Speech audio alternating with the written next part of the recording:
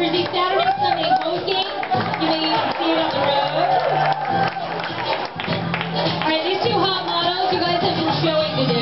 So two color piping replaces a single color piping on the sleeve and blanket. The sleeve piping has been moved to the edge of the sleeve. The new primary logo sleeve patch has been added to the left sleeve.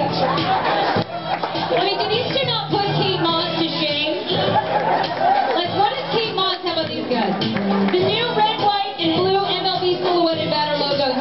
good to the back of the jersey as well. And of course we can't forget the hot hats. Those look really good too. Those will be worn with this jersey as well if you're home game. Ladies and gentlemen, one more time, Houston and John Lannan. Hi, John.